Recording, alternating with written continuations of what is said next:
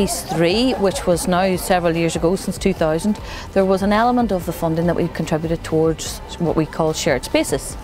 And that was so successful in Peace 3 that when we went to public consultation to see what was going to be in Peace 4, that was one of the items that they said they wanted, the public wanted to see again because they saw the success. And one of the ultimate successes is obviously the Peace Bridge here in Derry, Londonderry, which has really regenerated the city. My name is Jared Dean, I work for Holywell Trust. We're an organisation that's based in Derry, but we're delighted to be working with groups in the Strabane, Donegal area on the Strabane Shared Space project. So how does it work? It's dead simple. You hear the human story story first. You then have the opportunity to interact with the person and then you can ask questions. Well, it's just a fantastic opportunity to partnership and network with our neighbours, so to speak, the cross-border, cross-community organisations. Um, and we really haven't had an opportunity for a long time to be involved in a partnership.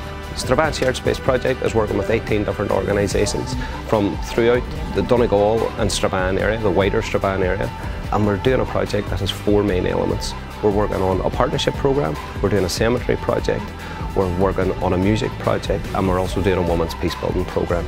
And alongside that, we're working with the groups to build their relationships um, alongside the four core programme elements as well.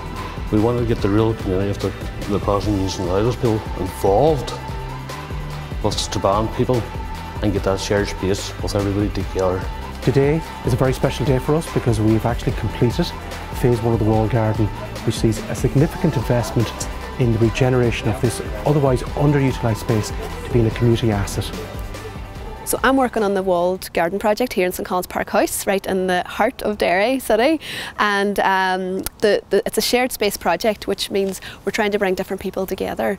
Um, and I suppose what we've noticed since uh, the word of the walled garden has got out, that um, there's a range of different people and different groups are just mad to get involved in the space. So we're planning the space um, to be as accessible as possible and to be as inviting uh, for as many groups as possible. The Waterside Village project operates um, between Irish Street and Top of the Hill in the Waterside.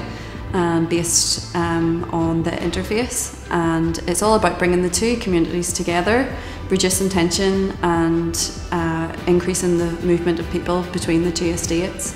And this is done um, through a series of different programs, events, and larger festivals uh, scattered throughout the year. Part of the Waterside Shared Village programme, we've had um, a four week summer scheme which is just coming to uh, close now uh, in the last few days and the next few days.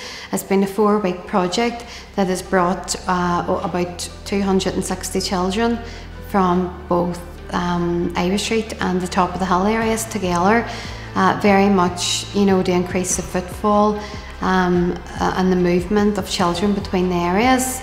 Um, you know, so that so it breaks down the perceptions of of, of the other side, so to speak. The top of the hill is a, a, nationalist Catholic Republican area within the waterside. Um, it is a, an area of high deprivation my name is Sean McMonagle. I've been working on the community engagement around bonfires project for the last three years. The focus of the programme was to create an engagement strategy around bonfires that were contentious in communities and on a cross-community basis.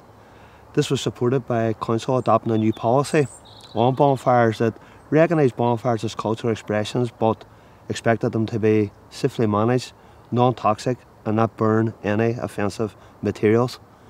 And there's some who saw it as a cultural war against their celebrations. But the project was nothing like that at all. When we began to build trust with people, uh, we then began to see the transformation of the bonfires from being uh, what was described as hit fest into more safer community-based projects and in some instances we actually saw total alternative to bonfires uh, be embraced in different communities. Hi, I'm Jonathan Henderson. I'm the project officer on the Castlederg Shared Spaces project. Um, the project is all about bringing people together uh, through the medium of green space. Um, over the last number of years, we've been working very closely with various groups in the Castlederg and surrounding areas. Uh, so the examples of the programs that we've been implementing in the Castlederg and surrounding areas um, includes a community growing project, uh, which looked at communities coming together from different backgrounds um, through the medium of uh, horticulture. Uh, that was a very successful project, and again, that was informed uh, very much by uh, Churchtown Community Association. Uh, we had a significant number of participants, and the feedback we've received to date has been very positive.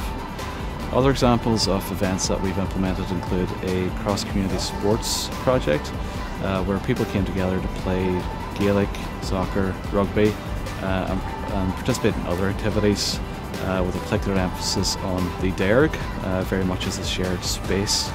Um, and try and reorientate people back to the Derg um, because obviously that's a key component of Castlederg and community life. Margaret McLaughlin, um, I work in Dennett Interchange in Donemana, who is the lead partner in the Newtownstewart Shared Spaces project. The project is working between five communities, Douglas Bridge, Victoria Bridge, Ardstraw, Newtownstewart and Plumbridge and each of the communities have identified a common theme between them.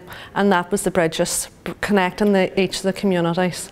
Um, and as part of the consultation then they identified that history was a common element as well within the communities because there was lots of old stories that weren't being told to the younger people. So it was intergenerational it was older people entertaining young people it was bringing everybody together within each of the communities, but also allowing them to share their stories between the five communities. And one of the people from one of the villages was actually had never been in the other village before.